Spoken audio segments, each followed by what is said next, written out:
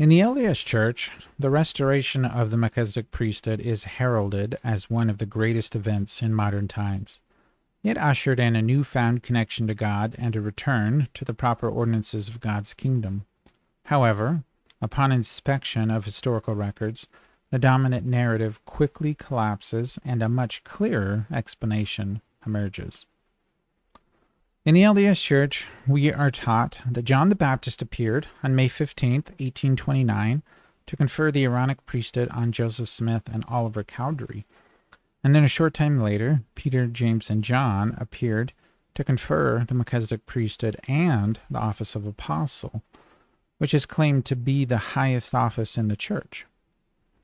While it is true that John the Baptist conferred the Aaronic priesthood upon Joseph, which is described in Doctrine and Covenants section 13, it is far more ambiguous as to what and when transpired for Peter, James, and John. You would think, though, that far more specifics could be given for such a monumental event. The LDS Church does say that the restoration of the, of the Melchizedek priesthood was likely between May 15, 1829, and August 1830. This is because of a number of sources which point to this time range in one way or another. Each of the sources hold various clues, however, none are very definitive as to when the event occurred and what exactly transpired. In the LDS version of events, Peter, James, and John appeared to Joseph, confirmed him as an apostle, and gave him all the priesthood authority he would need to govern the church. Later visits from individuals conferred keys. However, Joseph never received any higher authority. Therefore, it is logical to conclude that apostle then is the highest priesthood office in the church. This is, in fact, the official doctrine of the LDS Church. This distinction is vital to show that Brigham Young had all the authority he needed in order to govern the church, since he was an apostle at the time of Joseph's death. However, as will be shown shortly, this is very inaccurate. While there is no doubt that Peter, James, and John appeared to Joseph and confirmed him to be an apostle, this visit is actually canonized in Doctrine and Covenants section 27, verse 12, which was added in the 1835 Doctrine and Covenants. There is, however, literally no evidence to suggest that Joseph was given the high priesthood at this time, and there is a large amount of evidence to suggest that he wasn't. This distinction is vital to show that the office of apostle is not the highest priesthood office in the church and there is actually a higher priesthood for select individuals.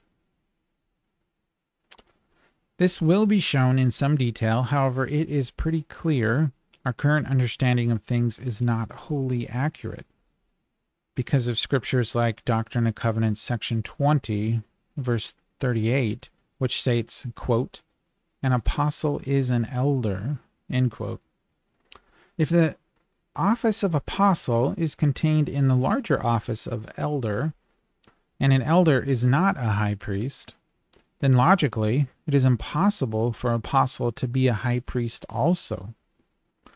If apostle is not a high priest, then we would of course need that authority in order to officiate in the church of God. We can see this requirement in Doctrine and Covenants section 107, verses 64 through 68, which states, quote, Then comes the high priesthood, which is the greatest of all. Wherefore it must needs be that one be appointed of the high priesthood to preside over the priesthood, and he shall be called president of the high priesthood of the church. Or, in other words, the presiding high priest over the high priesthood of the church. End quote. Therefore, we can see that the president of the church must have the high priesthood and therefore be a high priest in the church of God. Brigham Young recognized this issue. However, he didn't need to concern himself with this because at that time he was already leader of the church. He remarked, quote, Now will it cause some of you to marvel that I was not ordained a high priest before I was ordained an apostle? Brother Kimball and myself were never ordained high priests. How wonderful. It is honestly not clear how Brigham could claim to have the high priesthood when he explicitly denied having it. It is also not clear how an apostle can be a high priest when an apostle is an elder, which is not a high priest. In February 1831, Joseph received a revelation, which we now have as Doctrine and Covenants, section 44, in which Joseph is instructed to call the elders together for an important conference. In that revelation, God says, quote, It is expedient in me that the elders of my church should be called together, from the east and from the west, and from the north and from the south, by letter or some other way. And it shall come to pass that inasmuch as they are faithful and exercise faith in me, I will pour out my spirit upon them in the day that they assemble themselves together. Joseph was obedient and called several elders together for the important conference that was held June 3rd, 1831 to June 6th on the farm that was owned by Isaac Morley. We have several accounts of the amazing manifestations that happened during that conference. I don't want to overwhelm you with quotes. However, it is important to realize the sheer magnitude of what is being described. Joseph even remarked before the conference that, quote, not three days should pass away before some should see their Savior face to face. End quote. Regarding the conference, Joseph remarked, quote, on the sixth on the 6th of June, the elders from the various parts of the country where they were laboring came in, and the conference before appointed convened in Kirtland. And the Lord displayed his power to the most perfect satisfaction of the saints. The man of sin was revealed, and the authority of the Melchizedek priesthood was manifested and conferred for the first time upon several, several of the elders. It is very curious to note that Willard Richards crossed out key aspects of that entry and handwrote a more modern interpretation. However, the original certainly fits the rest of the statements much better. As was mentioned previously, it is very important when studying church history to ensure the records are as original as possible. Regarding the conference, John Whitmer uh, wrote After the business of the church was attended to according to the covenants, the Lord made manifest to Joseph that it was necessary that such of the elders as were considered worthy should be ordained to the high priesthood. The Spirit of the Lord fell upon Joseph in an unusual manner. After he had prophesied, he laid his hands upon Lyman Wight to the high priesthood after the holy order of God. And the Spirit fell upon Lyman, and he prophesied concerning the coming of Christ. End quote. Another statement regarding the conference from Lyman Wight Quote, a conference was held at Kirtland, represented by all the again saw the visible manifestations of the power of God as plain as could have been on the day of Pentecost. And here, for the first time, I saw the Melchizedek priesthood introduced into the church of Jesus Christ as anciently, whereunto I was ordained under the hands of Joseph Smith. And I then ordained Joseph and Sidney and sixteen others, such as he chose unto the same priesthood. The Spirit of God was made manifest to the healing of the sick casting out devils, speaking in unknown tongues, discerning of spirits, and prophesying with mighty power.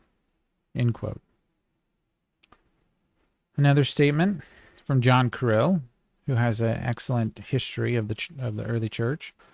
He says, quote, "The Melchizedek priesthood was then for the first time introduced and conferred on several of the elders."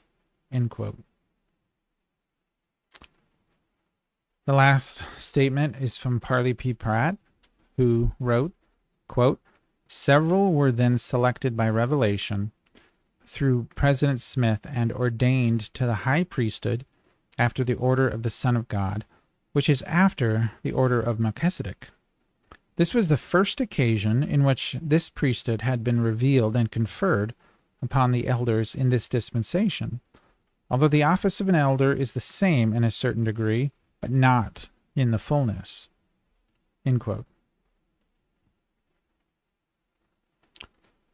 From these statements, we can see that several people, including Joseph Smith, felt that at that conference, the Morley Conference, the Melchizedek priesthood was introduced for the first time into the church, along with the office of high priest.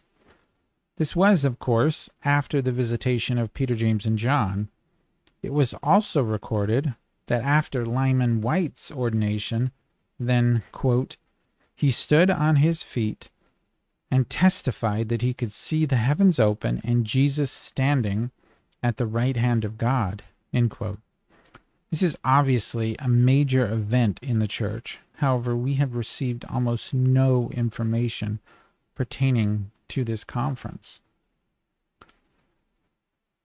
In the newly compiled History of the Church, Saints Volume 1, this is the entire mention of that conference. Quote, as the family cared for Eliza, her father attended an important church conference at a schoolhouse near the Morley farm. He was gone several days, and when he returned, he told the family he had to leave again. That is certainly very light information for such an important conference in which people saw Christ and the Melchizedek priesthood was introduced. It is also very light, considering the conference was where Joseph received Doctrine and Covenants section 52, which called several people on missions. Therefore, you would expect the official history of the church to have at least a bit more information considering this important conference. Lastly, why did several people testify to the fact that Lyman Wight ordained Joseph and Sidney to the high priesthood when we know Joseph was already an apostle. According to the official LDS explanation, an apostle is higher than a high priest. Therefore, Joseph certainly didn't need any additional priesthood authority. Why also was the Melchizedek priesthood given to elders? Shouldn't they have already had it? From the conference, we know 23 people were ordained as high priests, and all were elders except Martin Harris, who was a priest. Therefore, according to traditional LDS belief, Martin shouldn't have been a high priest. Joseph also stated that the office of apostle had nothing to do with this higher priesthood, or Melchizedek priesthood as we would call it today. Joseph stated that the Melchizedek priesthood, quote, was not the power of a prophet, nor apostle, nor patriarch only, but of king and priest to God, to open the windows of heaven and pour out the peace and law of endless life to man. And no man can attain to the joint heirship with Jesus Christ without being administered to by one having the same power and authority of Melchizedek. In this same talk, Joseph actually described how there were three orders of the priesthood in the church, namely Levitical, Patriarchal, and Melchizedek.